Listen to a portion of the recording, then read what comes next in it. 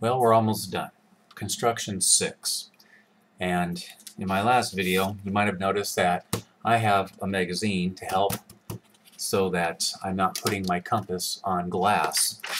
It is a fairly recent copy of Wired magazine. So just in case you're wondering what that is, now you know. We're going to now um, construct a congruent angle.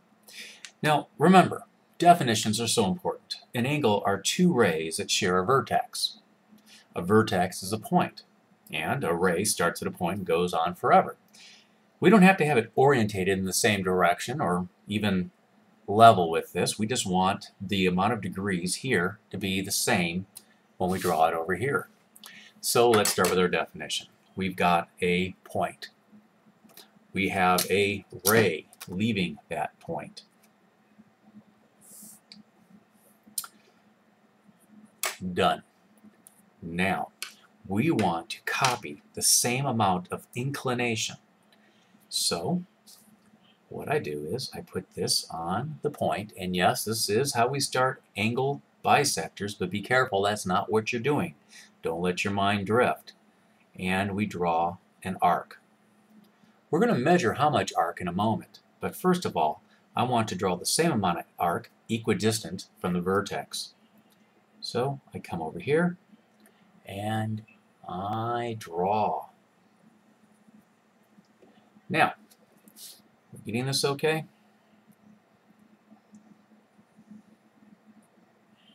Hopefully it's dark enough for the camera. Good. Now, I can measure from above or below. It doesn't really matter. But I'm going to use this compass like I did in construction 1 to measure a length. And the length I want is measured from this point to this point. So I'm going to kind of use it like a captain's. And I got to make a little fine tuning. But this is the mark I'm looking for right here. Right here is the mark I'm looking for. It proves that I've measured from here to here. And since I measure from bottom to top, I'll measure from bottom to top here. I put this down at the intersection.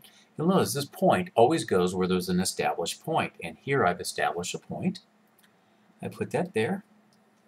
And I scribe that up there. Now, two points establish a line, so one, two.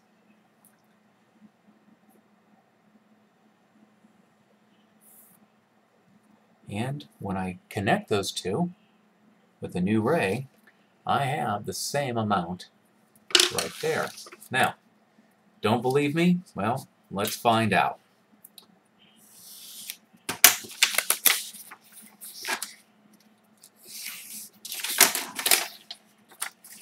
I put this here. And if I go back and forth, you shouldn't see a difference. Pretty cool, huh? Yep. There you go.